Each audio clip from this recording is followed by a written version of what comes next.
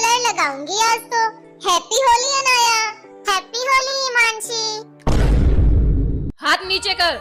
मेरी बेटी को रंग लगाने की हिम्मत कैसे हुई तेरी? क्या हुआ अनाया? रो क्यों रही हो? आंटी ने मुझे थप्पड़ मारा। तो तूने मेरी बेटी को रंग क्यों लगाया? मम्मा पहले मैंने